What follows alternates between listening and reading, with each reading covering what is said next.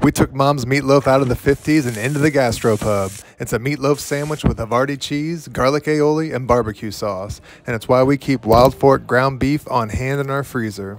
Start off by building a flavor bomb of a meatloaf, then pop it in the oven for an hour and go knock out those other thousand tasks in your busy life.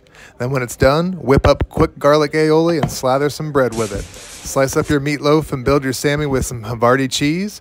Then hit the broiler until it's golden brown on both sides. This ain't your mother's meatloaf, but it is our go to twist on a classic weeknight meal.